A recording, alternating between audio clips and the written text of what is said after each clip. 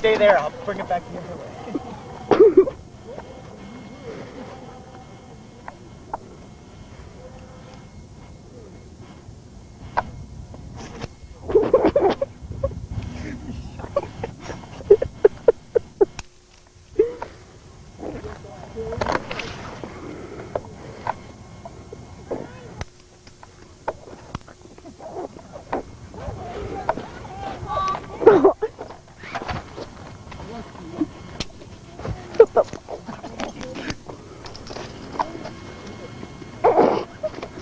Now get her torso. Let's get a close up. I already got a close up of it.